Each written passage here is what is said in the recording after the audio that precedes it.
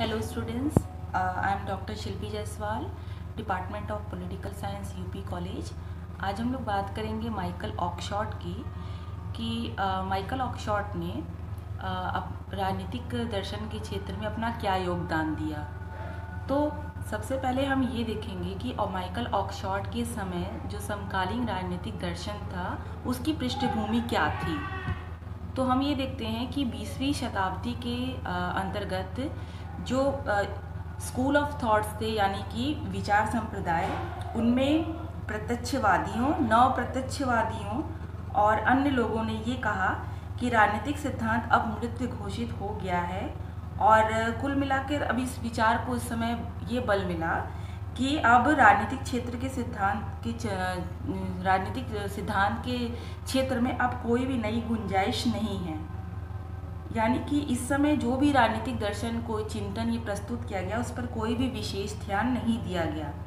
फिर इसी समय उदारवादी सिद्धांत, समकालीन मार्क्सवादी सिद्धांत से जुड़े हुए जो विचारक थे और इनसे अलावा भी कुछ अनेक राजनीतिक दार्शनिकों उभर कर सामने आए, जिन्होंने स्वतंत्रता, क्रांति सत्ता, नेतृत्व, प्रतिनिधित्व, वैधता, प्रगति इत्यादि पर अपना एक मौलिक विचार प्रस्तुत किया। और और और इनका ये मानना था कि मानवता के समस्याओं के प्रति एक नए ढंग से हमें उसका समस्या का समाधान ढूंढना चाहिए। इन विचारकों में प्रमुखतः Hannah Arendt Leo Strauss, Eric Voegelin, Michael Oakeshott इत्यादि थे। इन सभी ने राजनीतिक दर्शन का एक नवीन विश्लेषण प्रस्तुत किया। अगर हम बात करें माइकल ऑक्सफोर्ड की तो ये ब्रिटिश फिलोसोफर थे। इनका जन्म 11 दिसंबर 1901 में ब्रिटेन में हुआ था।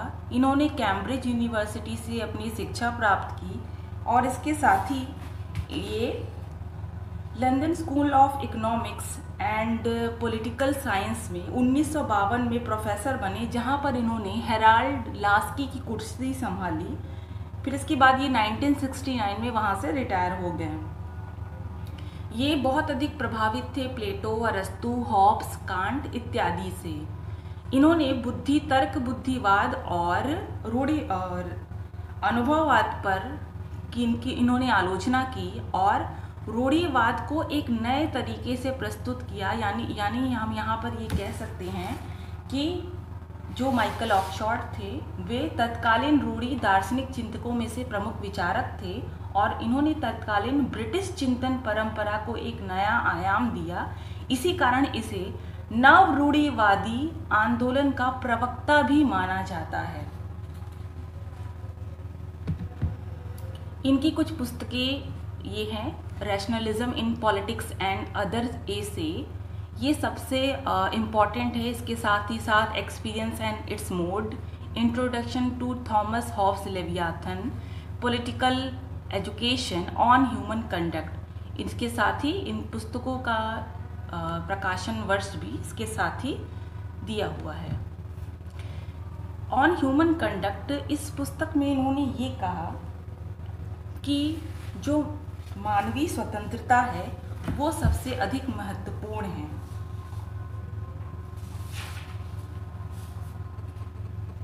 मानवीय स्वतंत्रता बहुत अधिक महत्वपूर्ण है और इसके साथ ही साथ इन्होंने मानवीय व्यवहार को दो भागों में विभाजित किया या दो भागों में इसको वर्गीकृत किया। पहला ये कहते हैं कि पहला जो मानवीय व्यवहार, उसे हम यंत्री या विवेकीय व्यवहार कहते हैं। और दूसरा है हमारा नैतिक व्यवहार।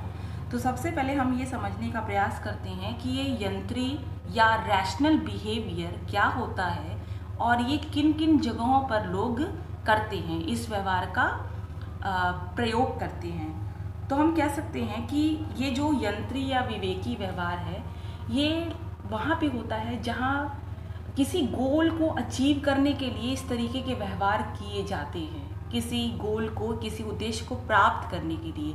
जैसे एग्ज़ाम्पल में यहाँ हॉस्पिटल है कॉलेज है मैनेजमेंट है ऑफ़िस है आर्मी स्कूल एक्सेट्रा यहाँ पे जो एक एक जगह है, यहाँ पर अब इस, मान लीजिए जैसे हॉस्पिटल है तो हॉस्पिटल को हम किसी उद्देश्य के लिए स्थापित करते हैं और वहाँ पर उससे हॉस्पिटल से जुड़े हुए जितने भी लोग हैं, उनका उद्देश्य एक ही होता है।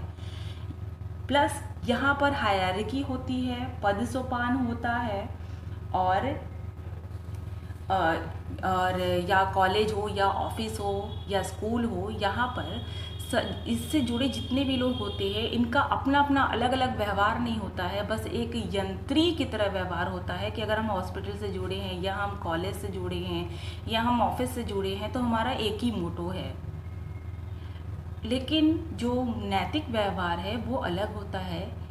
यानी कि हम जब परिवार से जुड़े होते हैं, वो व्यवहार हमारा, जो हमारा परिवार के प्रति होता है, वो व्यवहार जो हमारा मित्रों के प्रति होता है, वो व्यवहार जो हमारा अपने मित्रों, अपने रिलेटिव्स अपने संबंधियों के साथ होता है।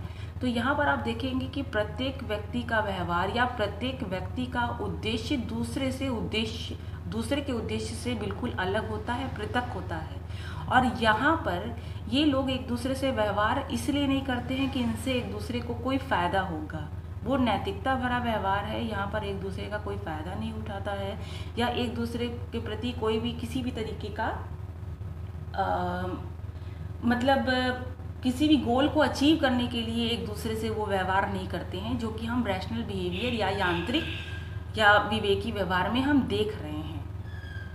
तो उसी तरीके से यहाँ पर माइकल ऑक्शॉट ये कहते हैं, जिस तरीके से मानवीय व्यवहार होता है, उसी के आधार पर हम ह्यूमन एसोसिएशन या मानवीय संघ को भी देख सकते हैं। मानवीय संघ दो प्रकार के होते हैं।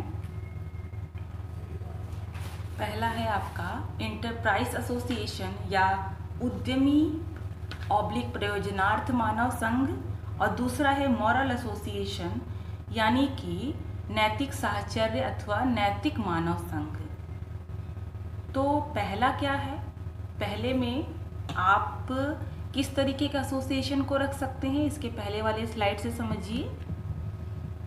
Hospital college management office army school यानी कि ये कैसा एसोसिएशन होगा, कैसी संस्था होगी तो हम लोग बात करते हैं कि उद्यमी या प्रयोजनात् मानव संघ की ये एक शैक्षिक संस्था होगी। यहाँ पर एक जितने भी लोग जुड़े हुए होंगे, उनके एक सामान्य उद्देश्य होंगे, जबकि जो नैतिकता पर आधारित जो मानव संघ है, वो आपस में सर्वमान स्वीकृति पर एक साथ रहते हैं। और अपने और अपने समान स्वीकृति पर एक साथ रहते हैं और जबकि जो जो मान, जो उद्यमी और प्रयोजनार्थ जो संघ है, वह नैतिक साहचर्य से बिल्कुल अलग है।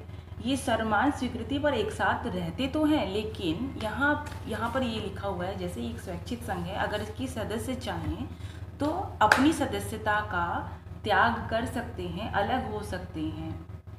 जबकि मॉरल एसोसिएशन या नैतिक साहचर्य में ये चीज़ नहीं होता है। और यहाँ पर लोग जो होते हैं, वो प्रत्येक एक स्वरमान स्वीकृति पर रहते हैं। उनका प्रत्येक व्यक्ति का उद्देश्य अलग अलग हो सकता है। तो यानी कि कि यानी कि यहाँ पर आपका ये सारे आ, हो गए एग्ज़ाम्पल और दूसरे में आपका यानी नैतिक साहचर्य नैतिक मानव संघ में ये आपके सारे एग्ज़ाम्पल उसमें आ जाएँगे। यानी आप देख सकते हैं जैसा मानव व्यवहार होगा उसी तरीके से मानवीय संघ भी होगा। अब हम बात करेंगे कि लेक्स या रेस पब्लिक का ये क्या होता है? यहाँ पर माइकल ऑक्शॉट ये कहते हैं कि ये जो रेस पब्लिका या रेस पब्लिका या लेक्स है, ये नागरिक संघ को बनाने वाले नियम होते हैं। ये नियम जो होते हैं, ये संविधान की शक्तियों, दायित्वों, प्रक्रियाओं की रीतियों इत्यादि को तय करते हैं। जिन्हें ऑक्शॉट लेक्स का नाम देता है, ये जो लेक्स है या रेस पब्लिका है, ये नागरिकों के अधिकारों और दायित्वों का विवेचन करते हैं कि ये इस इस तरीके से ये आपके मानवीय व्यवहार हैं और ये आपके नियम हैं और माइकल ऑक्शॉट ये कहता है कि इस प्रकार के लेक्स को मानना प्रत्येक नागरिकों का दायित्व होता है, क्योंकि ऑक्शॉट ने लेक्स को सबसे अधिक महत्वपूर्ण दिया है, क्योंकि यही जो लेक्स है, वो नागरिक नागरिक संघ का आधार तैयार करता है, ताकि जो नागरिक हैं, वो आपस में एक दूसरे का सहयोग करें। और यहाँ पर ऑक्सफोर्ड ये भी कहता है कि नागरिकों द्वारा इसकी मंजूरी या अनुमोदन की ज़रूरत नहीं है, क्योंकि वे सभी ये मान लेते हैं, सभी नागरिक ये मान लेते हैं कि लेक्स सही ही होंगे और अच्छे ही होंगे। तो ये नियम जो है, वो आंतरिक रूप से प्रतिबंधात्मक होते हैं और उसे किसी बाहरी सहायता की ज़रूरत नहीं होती है। जबकि आप यहाँ पर देख सकते हैं कि जो उद्यमी या प्रयोजनार्थ मानव संघ होता है, जो एक स्वैच्छिक समूह है, वो जब आप ज्वाइन करते हैं कोई भी ऑफ़िस या हॉस्पिटल उसमें एक बाउंड होता है, एक बाउंडेशन होता है, कोई नियम, नियमावली होती है, जबकि नैतिक साहचर्य में इस तरीके की हम परिवार में रहते हैं या समाज में रहते हैं तो इस तरीके की कोई बाउंडेशन तो होती नहीं है। बस वो हमारे अंदर से वो चीज़ें आती हैं कि हम किस तरीके से, हमें इस तरीके जो मॉरल एसोसिएशन है, उसके हम नियमों का पालन सही तरीके से कर सकें। तो अब यहाँ पर एक और भी क्वेश्चन उभर कर सामने आता है कि अटैक ऑन रैशनलिज्म यानी कि ये जो माइकल ऑक्शॉट है, वो बुद्धिवाद पर प्रहार करते हैं। वो ये कहते हैं कि rationalism is causes root of many ill effect यानी कि ये जो बौद्धिकता दर्शन शास्त्री होते हैं या जो दर्शन शास्त्री या राजनीतिक दार्शनिक होते हैं, वे हमें एक कल्पना की दुनिया में ले जाते हैं। जैसे बात करें प्लेटो की, वो प्लेटो को भी क्रिटिसाइज़ करते हैं और उनकी तरह और भी दार्शनिकों को क्रिटिसाइज़ करते हैं कि एक हमें सपनों के महल में ले जाते हैं, सपनों की दुनिया में ले जाते हैं कि इस तरीके से होगा, मैंने अपने दार्शनिक चिंतन की इस तरीके से आधारशिला रखी है, पर वो क्या सही होती है? हमें वास्तविकता पर ध्यान देना चाहिए। इसी कारण इन्होंने एक विशेष प्रकार के, यानी जो हमारा दूसरा पॉइंट है, कि इन्होंने दूसरे एक विशेष प्रकार के बौद्धिकता पर बल दिया है। उनका ये कहना है कि हमें अपनी राजनीतिक विवेक पर ध्यान देना चाहिए और अपने सांस्कृतिक, अपने राज्य की संस्कृति पर ध्यान देना चाहिए। इसके साथ ही साथ वो यहाँ पर ये बात करते हैं कि वो इतिहास इतिहास परक राजनीति का समर्थन करते हैं और वह परंपरा का समर्थन करते हैं और इसके साथ ही साथ वह रूढ़ीवाद के समर्थक हैं। इसका क्या मतलब हुआ? वहाँ पे ये ये कहते हैं कि मान लीजिए कि भारत की राजनीतिक व्यवस्था में कोई भी मान लेते हैं कि आ, कोई इफ़ेक्ट है या कोई दोष है तो क्या हमें आ, हमें क्या किसी दूसरे देश की या अमेरिका की राजनीतिक व्यवस्था को ज्यों का त्यों अपना लेना चाहिए? नहीं यहाँ पर वो बात करते हैं कि हमारी इतिहास की क्या राजनीति रही है उसको ध्यान में रखते हुए उस परंपरा को ध्यान में रखते हुए अपनी रूढ़ी रूढ़ीवादिताओं रीति रिवाजों का समर्थन करते हुए हमें अपनी राजनीति में ही कुछ आ, आ, मतलब चेंजेस करने होंगे। हमें केवल रैशनलिज्म के नाम पे या बौद्धिकतावाद के नाम पे हमें कुछ भी चीज़ों को एक्सेप्ट नहीं करना चाहिए। इसी कारण वो यहाँ पर मरम्मत की राजनीति की बात करता है। वो यहाँ पर कहता है कि मरम्मत की राजनीति का ये मतलब है, मान लीजिए भारतीय राजनीतिक व्यवस्था में अगर कोई फॉल्ट है तो हमें किसी दूसरे देश की राजनीतिक व्यवस्था को नहीं अपनाना चाहिए, बल्कि अपनी ही राजनीतिक व्यवस्था में कुछ सुधार करने चाहिए, कुछ मरम्मत करनी चाहिए, और इसके साथ ही साथ हमें क्या करना चाहिए कि अपने देश की जो संस्कृति है, जो विरासत है, उसको आगे बढ़ाने का काम करना चाहिए, न कि हम किसी दूसरे देश की राजनीतिक व्यवस्था को ज्यों का त्यों अपना लें। क्योंकि यहाँ पर हमारे जो देश की जो जो जो विरासत होगी जो संस्कृति होगी वो कहीं पिछड़ जाएगी। वो आगे के लोगों को पता ही नहीं चल पाएगी। तो इसलिए हमें मरम्मत की राजनीति यानी अपनी राजनीतिक व्यवस्था में ही सुधार कर लेना चाहिए। केवल बौद्धिकता वादी लोगों की बातों में आकर अपने राजनीति को पूरी तरीके से चेंज करना एक कहाँ की आ, आ, मतलब समझदारी है। मरम्मत की राजनीति से आप अभिप्राय समझ ही गए होंगे कि यानी हमारी राजनीतिक व्यवस्था में जो अगर कोई प्रॉब्लम है, कोई डिफ़ॉल्ट है तो हमें उसकी मरम्मत करनी चाहिए, उसमें सुधार करना चाहिए। जबकि विवेकवादियों का ये कहना था, यानी बौद्धिकतावादियों का ये कहना था कि जो राजनीतिक, जो व्यवस्था है, इन वर्गों के पास शासन शासन संचालन से संबंधित राजनीतिक शिक्षा का अभाव है।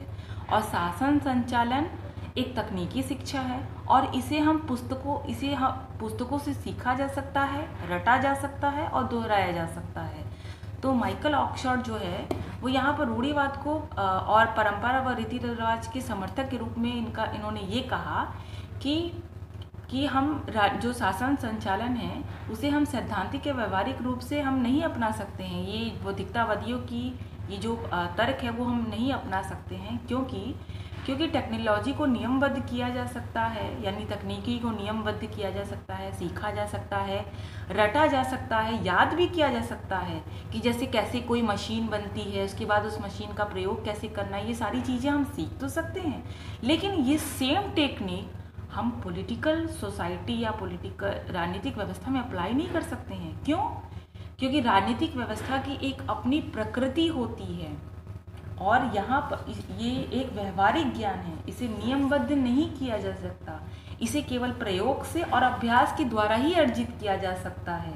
तो यहाँ पर ऑक्शॉट जो है, वो रूढ़ीवाद के संदर्भ में यही कहते हैं, विवेकवादियों की विचारधारा का खंडन करते हैं और कहते हैं कि व्यवहारिक ज्ञान इस बात का खंडन करते हैं कि विवेकवादियों ने ये कहा था कि तकनीकी ज्ञान ही एकमात्र ज्ञान है और व्यवहारिक ज्ञान कुछ नहीं होता।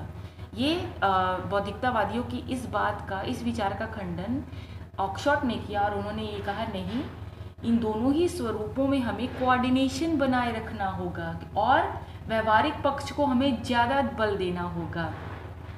इसके बाद ऑक्शॉट विवेकवादियों या बौद्धिकतावादियों को इस बात पर भी आलोचना करते हैं कि आ, कि विवेकवादी इतिहास को और या भूतकालीन चिंतन की परंपरा को महत्व नहीं देते हैं। वो केवल राजनीति में विज्ञानवाद की बात करते हैं।